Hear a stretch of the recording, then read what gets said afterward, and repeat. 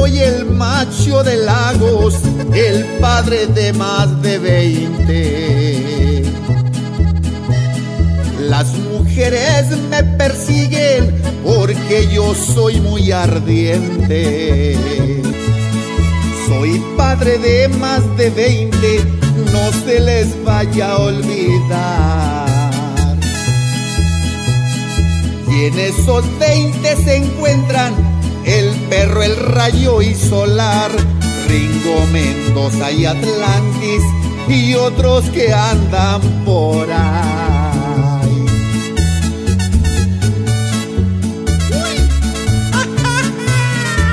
Amigas y amigos, les habla su amigo Jesús Reyes González Máscara, año 2000, el macho de Lagos, el padre de más de 20. Ahora platicando con el Junior sobre las, los triunfos más importantes que tuve empezando las primeras máscaras que yo gané. ¿Cómo Junior?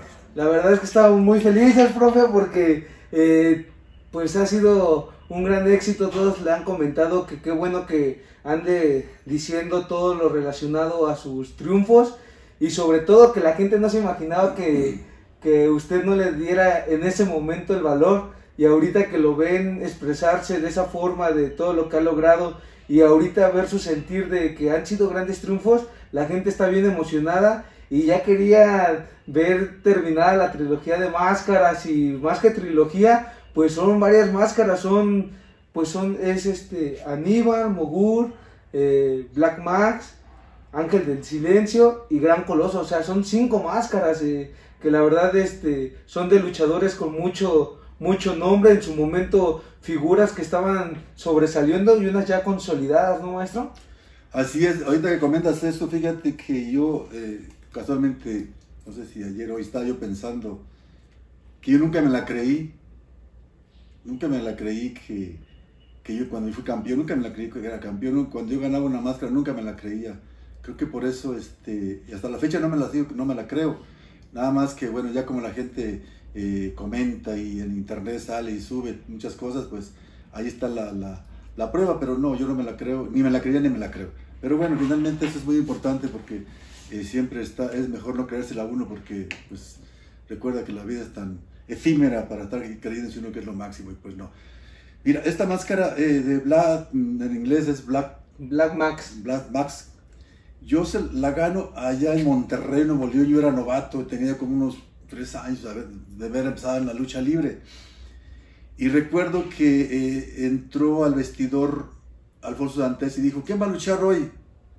Este, porque esos que van a luchar van a ser estrellas ya. Eso lo tengo bien grabado porque estaba la a reventarle en la coliseo. Y obviamente pues, nadie, nadie contestó, ¿no? Porque el señor Dantes era como que un señorón que nadie ni siquiera le, pues le, tanto respeto que nadie le, le, contestó. Y casualmente yo era el luchador que iba. Eh, sí. Esos luchadores de estrellas, aunque, bueno, que yo le gané, pues ya ahí se acabó su carrera. Esa, esa lucha, eh, te puedo decir que fue mala porque yo tenía tres años o cuatro luchando, entonces él también era igual. Eh, fue mala, pero una entrada muy buena y bueno, pues un triunfo que, que, que fue para, para Máscara 2000. En ese tiempo todavía estaba yo con Máscara 2000, me parece. Para la gente intentamos buscar eh, eh, algo que, que, pudiéramos documentar, pero lamentable en esa época, pues no, no hay nada, no, no hay nada sobre eso, pero lo que sí tenemos es la máscara y si la Así quiere mostrar.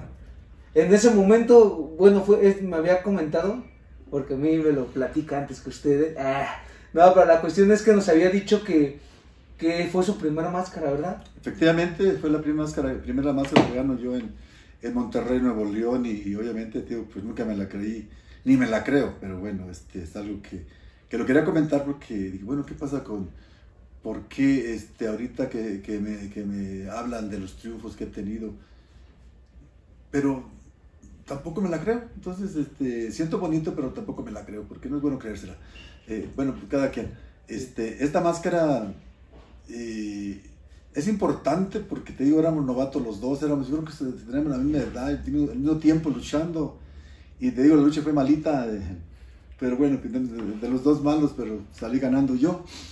Esta fue en Monterrey, Nuevo León, en ese tiempo no había eh, pues, televisión, ahí revistas locales, pero bueno, de Monterrey, pues allá está, allá, yo creo que ni imágenes hay de, de, de esta lucha. Eh, bueno, por ser la primera que sintió antes de cómo, cómo Pues- empezó, por qué llegaron al duelo de máscara contra máscara. Pues eh, yo siempre he sido así como de sangre caliente desde que empecé en la lucha libre y a lo mejor pues lo empecé a picudear y él no se dejó y nos retamos y la empresa montó la lucha y bueno pues ahí le gané y él ya no lo volví a ver después de la, de la lucha donde yo le gano, no lo volví a ver, se retiró, no sé, no supe más de él, En, en ese momento, ¿usted cuánto estaba pesando? como unos 95 kilos. ¿Y él? Yo creo que andaba por ahí también. No, entonces es que es, es importante porque creo que todas sus rivalidades de máscara contra máscara o son del peso o un poco más, o la experiencia en este caso pues eh, no sé si es afortunado o no, pero el mismo tiempo, el mismo peso, eh, pues aquí era un 50-50, ¿no? Yo creo que me benefició, yo cuando estaba este, joven era muy fuerte y a lo mejor eso me, bene- me benefici- me benefició porque, este, bueno, pues no creo que fuera tan bueno, ni él tampoco, pero yo creo que lo que me benefició a mí fue la, mi fortaleza, porque cuando yo estaba joven, uf, estaba más fuerte que un león. Hasta ahorita, ¿no? No, Todo- ahorita ya- todo- de hecho, en las redes sociales le dicen que cómo le hace para trabajar esos tríceps y esos brazos. Ya les vamos a poner la rutina para que lo chequen. Pero qué, qué padre que nos esté contando la, la historia de Gran Max. Y hay que tener el dato importante, o igual ya se lo aprendieron. Luchador que se enfrentaba a Máscara año 2000, luchador que desaparecía hasta de la faz de la tierra. Entonces sí era como que muy difícil enfrentarse a usted. eh, leyenda urbana o mito, pero es la verdad. Sí, a lo mejor en ese momento pues nadie Nadie se lo lo tomó en cuenta, ¿no? Eh, eh, lo que estaba pasando, porque pues, casi me imaginaron joven, con juventud y pues bueno, el chavo, y pues desaparece. Eso fue en Monterrey. Aquí te va la otra, esta, esta, Es una de las que más me gusta. esta, esta máscara, se, de hecho, se hizo una película, hizo un ángel- la hizo- se llama El Ángel de Silencio, la hizo este Rogelio Guerra. Esta máscara, al igual que esta, yo seguía novato, aquí ya un poco menos novato, pero todavía novato. Este luchador, el Ángel del Silencio, este, eh, lo encarnaba un, un compañero mío del gimnasio. Cuando yo, cuando yo llego a Guadalajara, le estaba entrenando. Entonces somos de la época, él y yo. Le decían, él, no recuerdo cómo le decían, porque estaba grandote. Y ese era más pesado que yo, era peso súper completo y buenísimo. La verdad es que él como que tenía así la, eh, la imagen del perro aguayo, así más o menos, como que lo imitaba, ¿no? Ajá. y pero muy bueno. Entonces, eh, cuando yo empiezo a luchar, él empieza a un poquito, ojalá empieza a luchar también él. Y en Guadalajara, eh, pues nace también el pique entre él y yo, igual, igual seguía de picudo y, y lo, re- lo, re- lo reté a lo mejor. Pues es la cosa que se hizo, la, la, la empresa monta la lucha y se hace la lucha en Guadalajara también, máscara contra máscara, ángel de silencio y un servidor. Y en esa lucha yo ya no estaba tan novato, ahí te pues que ya no fue tan mala. Yo pienso que fue una lucha eh, buena a secas, porque él era muy bueno, yo no tan bueno, pero bueno, finalmente yo estaba muy fuerte, era lo que a mí me, me, pues me, daba, me daba ventaja, ¿no? Y aparte la astucia, por ejemplo, a usted casi no le gusta reconocer sus cualidades, pero yo veo siempre en los videos que siempre tiene mucha astucia para ganar, sabe el momento exacto para o sacarlos de quicio o, o meterles un castigo pero efectivo, o sea que no se levante. Y hay que recordar, como lo habíamos mencionado anteriormente en una plática con luchadores, que los castigos son para mermar en el momento, no para lastimar ni para nada. En ocasiones pues llegan a pasar accidentes y pues es, son, son cosas que están en parte de nuestro trabajo y debemos asimilar que en algún momento nos pueden pasar, Sí. pero usted sabía en qué momento aplicar un buen castigo o sacarlo de quicio. Usted jugaba mucho con la mente de, de sus oponentes. Yo recuerdo eh, tan solo en la de Mogur como que sí, como que no se estaba descansando, lo dejó jugar con, con su mente de que ya lo tenía casi ganado y cuando menos sintió otra vez llegó con toda su fuerza y es algo que le caracteriza mucho, que, que usted ha sido muy fuerte y en esta ocasión ya que, que, que se lleva la máscara, eh, el chavo igual desapareció. Sí. Casualmente también ya no lo volví a ver este, en, la- en el, en el ambiente de la lucha libre, pues de ningún lado, ¿no? Se desaparece, él, era, él es de por allá de, de Zúñiga, de, allá de Jalisco, no de Guadalajara, Zúñiga, de no sé qué, por ahí un pueblo de, por ahí un municipio de, de Jalisco.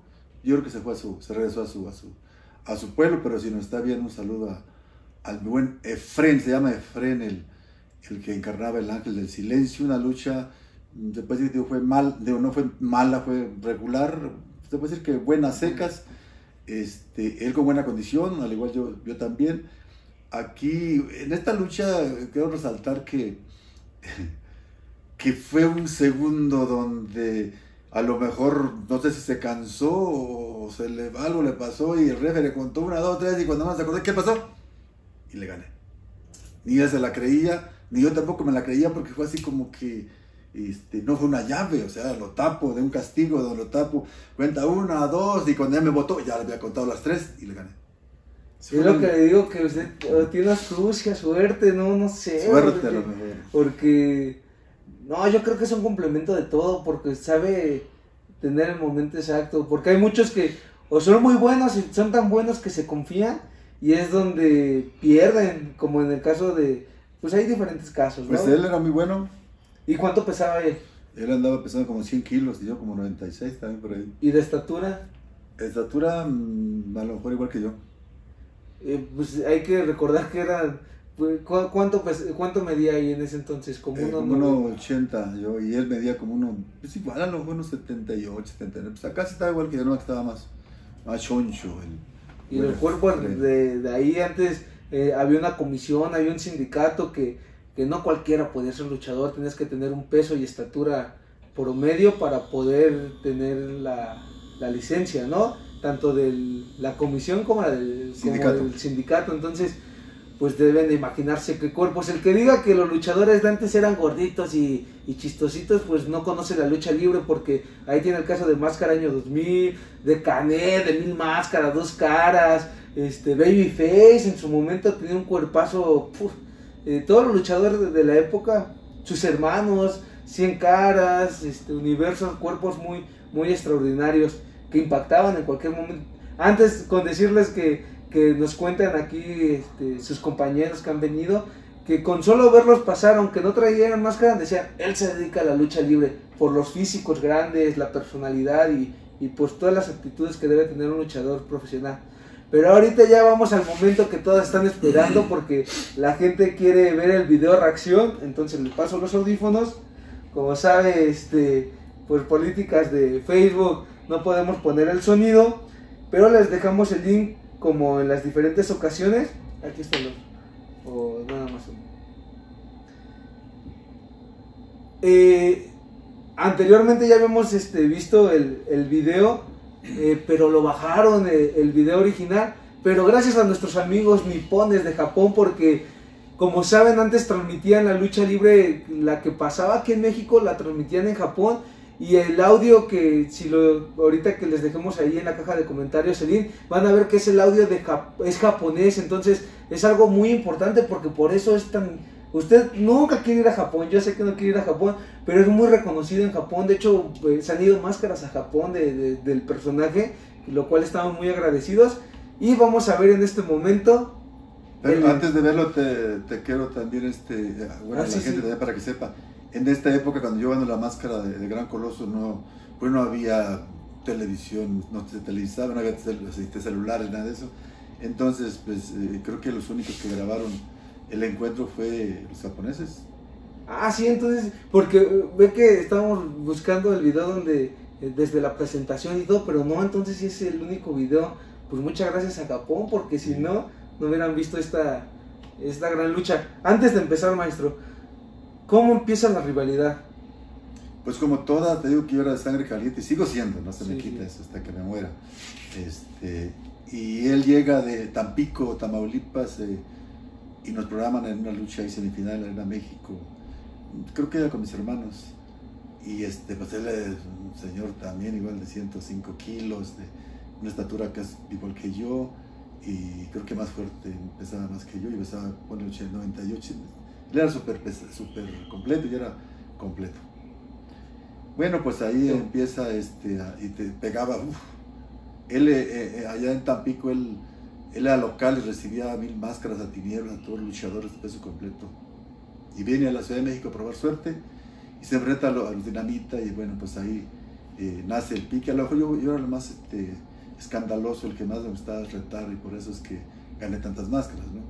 A lo mejor mis hermanos eran menos, menos, ¿cómo te diré? Menos habladores. Pero también tienen su repertorio. Un poco menos. Sí, sí. Por ejemplo, tienen campeonatos, ¿no? Sí, campeonatos, sí. Eh, y se hace, bueno, pues ahí nos rompimos la máscara, se hace el reto, y finalmente quien monta la lucha es la empresa, el promotor. En este caso, pues la, la empresa monta la lucha y, ahí no se firmaban contratos en esa época. Con la pura palabra. Con la palabra, estás programado en la lucha y máscara contra máscara. Y como la Arena México es porcentaje, y ahí no hay de que mi máscara vale tanto y la tuya vale tanto. No es un porcentaje.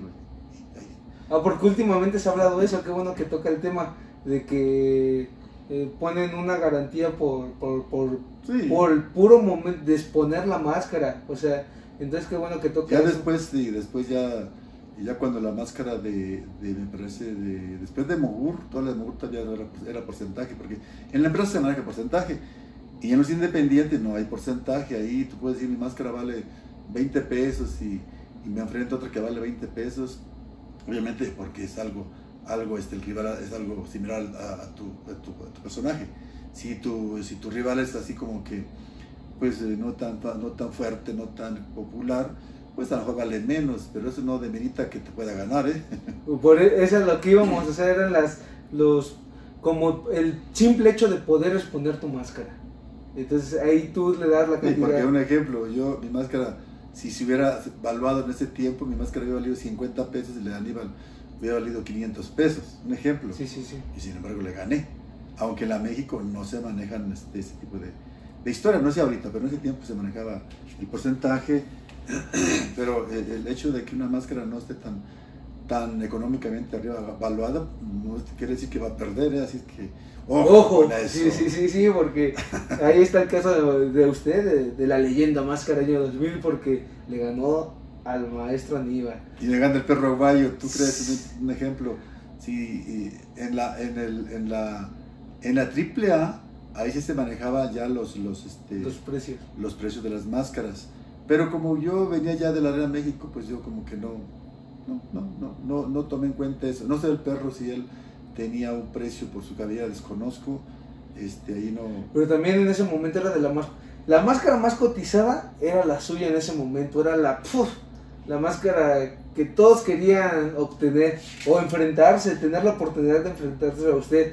Y de las cabelleras, la cabellera más cotizada en ese momento era la del perro aguayo. Nada más quiero terminar con esto que yo eh, digo que venía de, yo venía de la Arena México y, y con el señor Antonio Peña, que era mi gran amigo, lo manejamos igual a porcentaje, entonces este, creo que el perro también.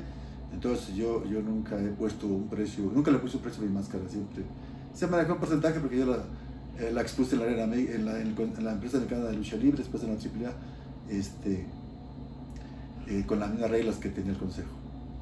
Pues ya lo saben, ahí está amigos, para que te chequen el dato y no piensen que porque daban por exponer ya te están por acabados, sino al contrario, es lo que estábamos hablando también ayer con, con nuestro gran invitado. Entonces, este, para que estén al pendiente. Entonces hay que darle play para, para ver sus reacciones. Vámonos pues. No recuerdo la fecha, debes, tú la tienes. ahí, ahí imagínate, mira, ver el cuerpo de... de, entrando, entrando. Y, las patas, tiene unas patadotas que tal pecho me duele ahorita. Mira. No, no, y muy fuerte, pues se ve casi el doble que yo. Sí, la verdad es que yo sí. Yo no estaba ahí muy, pues 95 kilos, yo creo, máximo, y él 105 kilos y más alto, un poquito más que yo. Y este, aparte, creo que él era, fue boxeador también. Entonces metía la zurda. No, sí, ¿cómo lo están metiendo en el esquinero? Ya les habían mencionado que los esquineros es metal, es acero y. Mira, es, unas piernotas y estas rodillas casi me Ahí, si, te, me preguntas qué pensaba, no, pues no, había tiempo de pensar, nomás estaba sintiendo. sintiendo. Un puro. Mira, maneja el izquierdazo, pero. Yo creo que él era zurdo porque me golpea más con la izquierda. Y tiene el total control, ¿eh? ¿Andé? Él tiene, eh, en ese momento tiene total control de. Y no, pues desde que subí me. Me acicató y, si tú, alguien me pregunta, ¿y qué pensaba que iba a ganar o qué? Pero no, pues ahí qué vas a estar pensando ahí. Lo único que quieres seguir. eh, soportando el dolor. Y recuerda que el que golpea también se cansa, no nada más el que recibe. Entonces, este, a veces eh, estás esperando que se canse para... La estrategia. para- sí, exactamente. Es lo que le decía que usted Ah, mucho. ay, yo le caí como... Caíste con la cabeza. Sí, el castigo no se ve tan común, pero es muy No, efectivo. pero caí con la cabezota. Y sí, se dio cuenta porque ve, le empezó a pegar. No, y se dio cuenta, yo creo que el propósito le siguió. ¿Qué cansó de qué? ¿De Se un tope? un tope. Y con ese peso. Hombre. Era aventado. No, pero usted también vea cómo lo baja, lo bajó de un jalón de. No, pues no se va a quedar Ah. igual. Me, me, me volvió a bajar, pero ahí no sé qué, qué caída vaya. Es que no, no sé. No tiene así eh, como, como que... que, primero es que el- pues lo único que hay, o igual y es la primera porque va empezando. Sí, ¿verdad? Sí. A ver, este, me pone una llave. está, le está metiendo. No, No, hombre.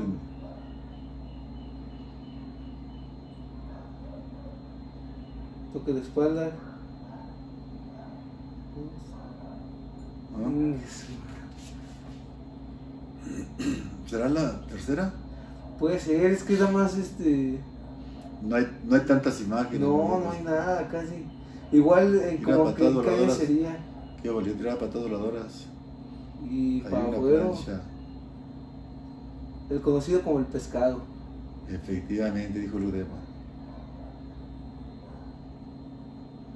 Muchos de sus aficionados por, por la página y por Facebook e Instagram nos dice que usted como técnico también era muy espectacular y, y nos mandan fotos y, y videos chiquitos. Y sí, hace cosas muy, Sí, eh, tanto como espectacular, no, o sea, tenían dos, tres cositas ahí, este, pero espectacular, espectacular, pues, Es lo que Sí, decía, no, usted juega mucho con la mente de sus ese rivales. puente es muy bonito. Sí. Pero no, se salió. Más bien tenía yo dos, tres lances eh, muy bien ejecutados, que aprendí allá en, en Guadalajara con este, en la escuela del Diablo Velasco, ahí tal de caballo. Al frente estaba Gran Cochise, Raúl Armas, que me ayudó mucho, siglo XX también.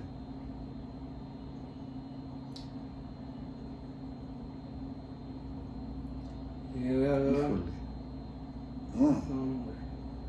como una tonelada. Y aún así, Fíjate, esa plancha yo la trataba de ejecutar. no, esa fue de frente. Sí. No, y duele. Pero como uno se levanta y sigue, piensa la gente que no le duele, pero duele hasta el alma. Ni uno ni otro, ¿eh? Sí. Yo creo que esta es la tercera caída, la primera y segunda creo que no, No, no hay eh, no hay este, evidencia, imágenes. ¿no? Bueno, finalmente, pues la tercera es la definitiva, es la última.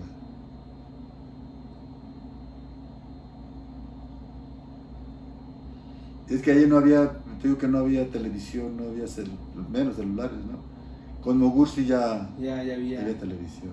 hasta cámaras. Sí, este, eh, yo estaba con el equipo azul, es el original ahí, ese equipo. Aquí está la máscara para que la gente. Ahí está metiendo. Un tirabuzón invertido. Hay que ¿El, recordar. re- el referee quién? ¿El Gran Davis? No, no. ¿No lo has visto? No lo ubico bien. sí. Pero creo que sí, ¿eh? Grant Davis de los mejores referees.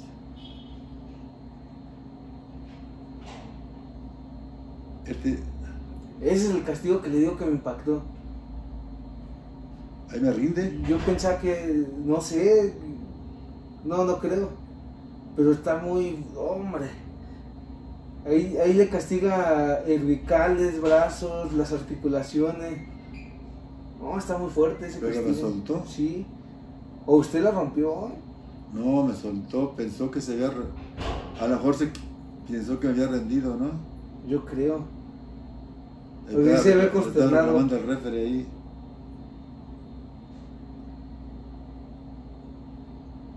Ahí está, mira. Esa llave que después perfeccioné con la que he ganado. No se rendía. No. Hasta que se rendía. Sí, entonces este, eh, pensó que había rendido. No digo que fácil, no fue. Ahí se ve, es lo que le digo, que usted aprovecha los momentos. Ese tipo de, de castigo se le llama látigo. hombre, si te hacen tres seguidos, como aquí te saca todo el aire. si no tienes condición. Te acaba la condición. Sí, sí, sí, sí.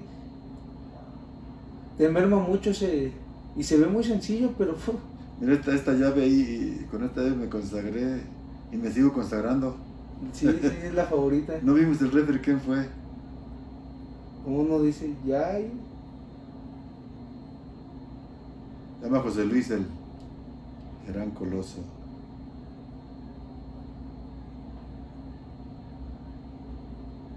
Hace poco fui a, a, Tampico y me lo encontré, creo que está igual de fuertote. Ahí se la quita y me la entrega, mira. Como un caballero, cosa que, bueno, el maestro Aníbal no me la entregó. Pues yo siento que por la rivalidad. Es que hay veces que se calienta tanto el ánimo que, que es muy.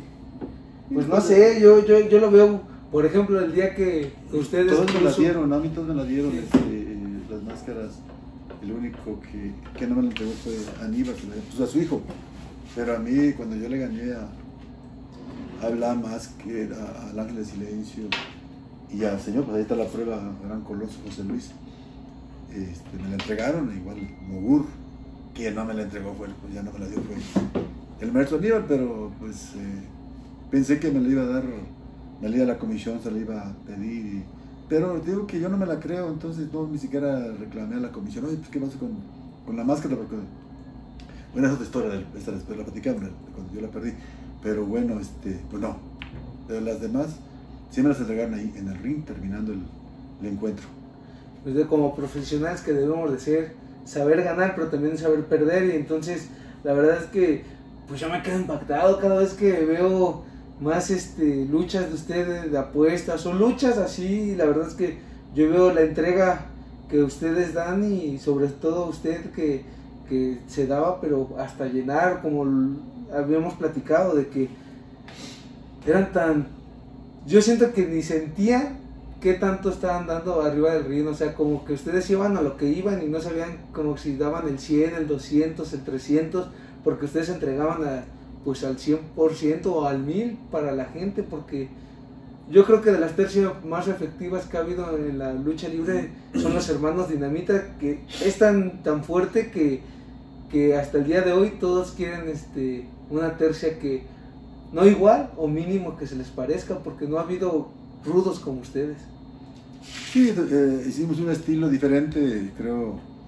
El, manejar, el ser los mejores o, más buenos que otros, no creo que, yo creo que eso es cuestión de gusto. Mira, y yo siempre he comentado que, que nadie es tan, el, mejor ni el peor. Depende para qué, porque hay luchadores que para ti son buenos y para otros no son tan buenos. Entonces yo creo que es cuestión de, de, de enfoque o de, gustos. lo que para mí es bueno, quizá para otro no es tan bueno. Eh, para mí el perro aguayo, este, eh, él, cumple con todo, con todo el, requisito de un luchador y a lo mejor para otros, para otros compañeros decían que, pues que no, que caía como perro y que... Entonces, pues yo creo que aquí eh, depende para quién. Y creo que somos todos somos diferentes y eso es lo bueno que hicimos una, una historia, hicimos un personaje diferente a todos que es lo que más vale, porque estar de copias no es tan bueno. Entonces, ahí está, el perro guayo fue único, extraordinario, este, y los dinamita Perú también, pero cada quien en su personaje, Cien Caras no imitaba a nadie, él era único, universo igual, yo igual, en esa época todos, todos, todos éramos únicos. Ahorita pues las cosas han cambiado, ahorita ya todos son iguales y no hay rudos ni técnicos, todos son una competencia acrobática o muchos chavos que quieren hacer la de de, de, los que hacen películas de doble, doblaje, de no sé cómo le llaman, Stone, que se avientan de, de, las azoteas y hace, o en los carros que están ahí este, con lumbre. Bueno, eso ya se pues, debe dedicarse mejor a, hacer eso que le llaman, ¿tú comes Tom? Ajá, Stone. Sí, porque la lucha libre no es eso, la lucha libre es, la lucha libre tiene un reglamento, entonces, y el reglamento que, que, que, que hay no se puede cambiar. No se, ahora te voy a otra cosa. La lucha libre este, no ha evolucionado, se ha distorsionado. Porque una cosa es evolucionar, otra cosa es distorsionar.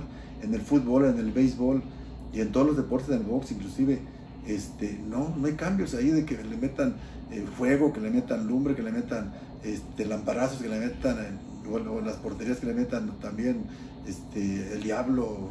No, no, todo sigue, evoluciona, pero pues con, respetando el reglamento. La lucha libre se ha degenerado, pero enorme.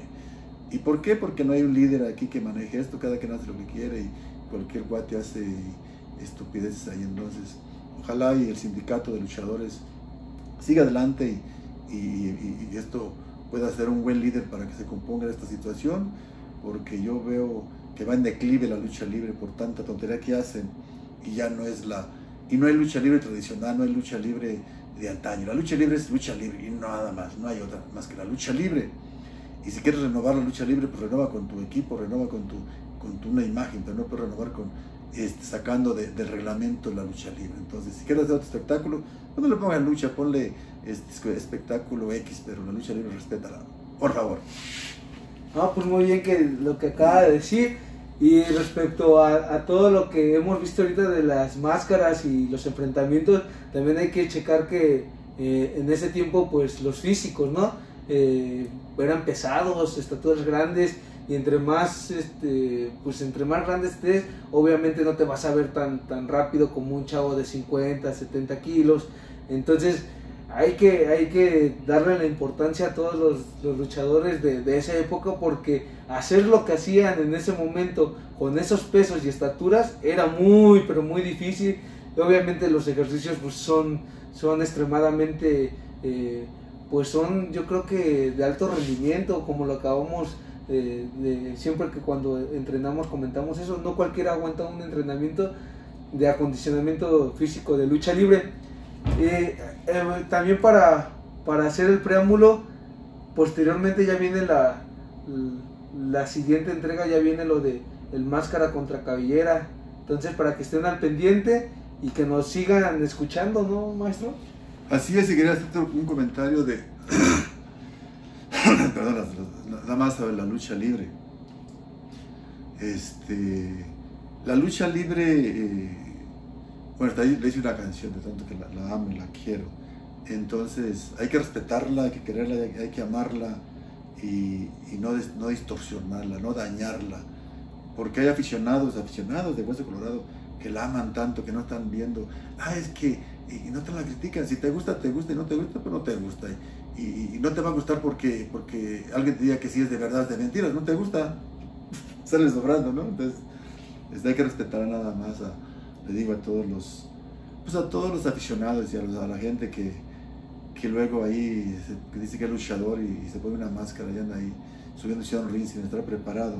Así es, pues este, estamos preparando este, ahora sí que la, la, la, la lucha, este, bueno, invitándolos para que vean el video donde va a salir, donde pierdo la máscara con el gran ícono de la lucha libre, el perro aguayo. Pues ya lo saben amigos y para que estén en sintonía de todo lo que estamos haciendo, sobre todo el preámbulo a llegar al video reacción, escúchenos en el 1380 de AM en Romántica a las 8 pm donde va a ser un programa especial. Como se los mencionamos la semana pasada eh, hubo el documental de México Perro, ya eh, lamentablemente pues no hay forma de, verlo en alguna parte porque es cine de arte, es cine que va a estar viajando por premios para nuestro país y sobre todo pues para nosotros como luchadores pues es algo muy importante porque habla de la lucha libre. Nosotros este, tuvimos la oportunidad y la fortuna de que fuéramos invitados y la verdad es que eh, el documental es muy, pero muy, muy bueno. Ojalá y, se pueda, después de que haga toda esta gira de todos los eventos de, premiación, eh, la puedan exhibir en los cines de, nuestro país, porque de verdad es un, es un gran documental que no solamente habla del perro aguayo como luchador, lo habla como amigo, como compañero, como padre de familia, como el ser humano.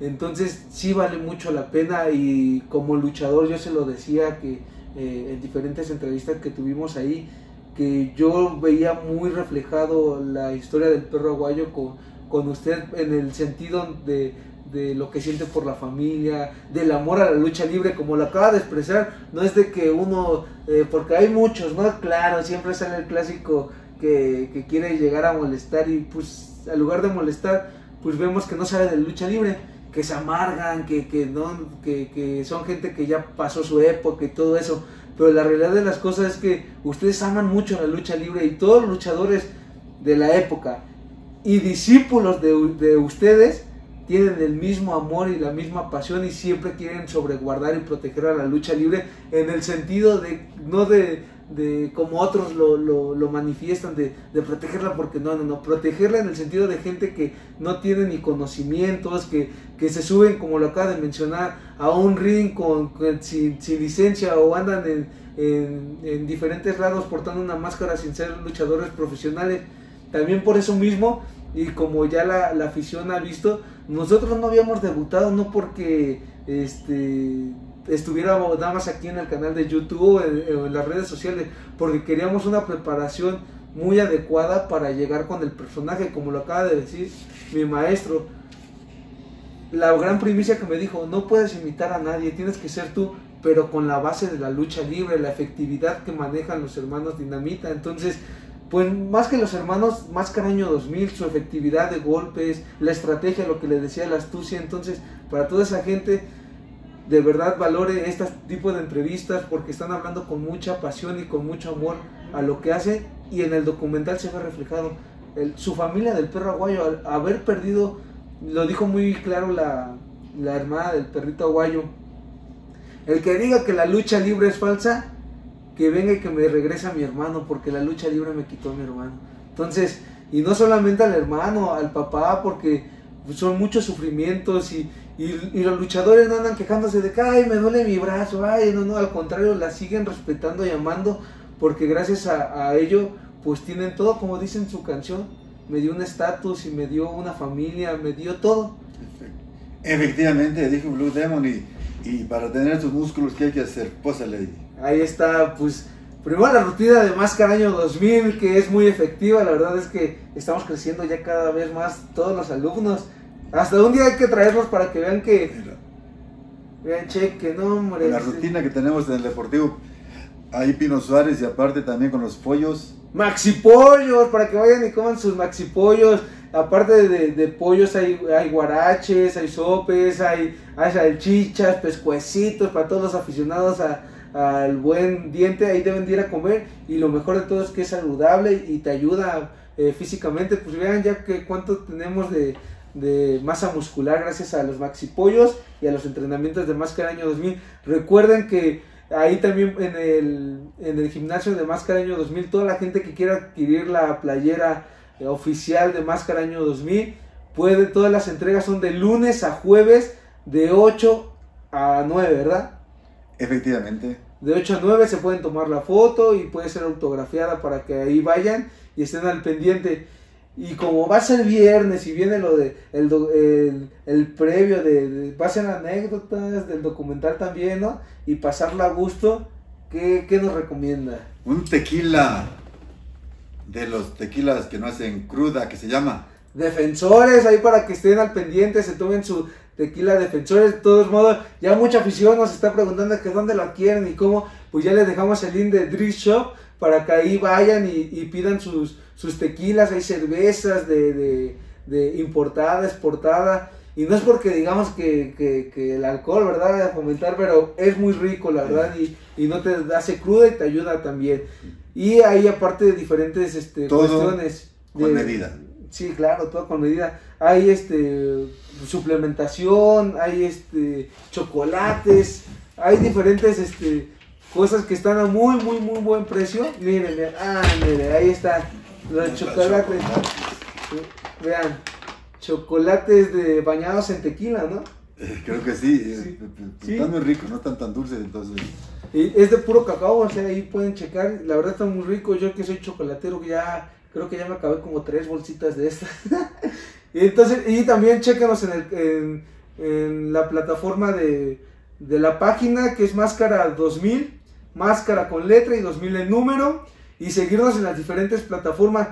También recuerden que si quieren entrar a la rifa, ahorita hay un aficionado en Instagram que nos está siguiendo mucho y que quiere más oportunidades para esta gran rifa y regalo, porque van a decir, pero ¿por qué una rifa? Pues una rifa porque van a todos los que se están suscribiendo y están mandando la captura a la página o al Instagram de Más Cariño 2000 o la del Junior, ahí pueden este van a ir acumulando este con los suscriptores que nos vayan mandando la captura. Si llegamos a los 10.000 de aquí a diciembre, vamos a estar regalando una máscara de super lujo de lentejuela reversible firmada por los dos, van a tener una pequeña convivencia con nosotros y sobre todo pues para seguir creciendo y que eh, obviamente que tener más entrevistas con diferentes luchadores.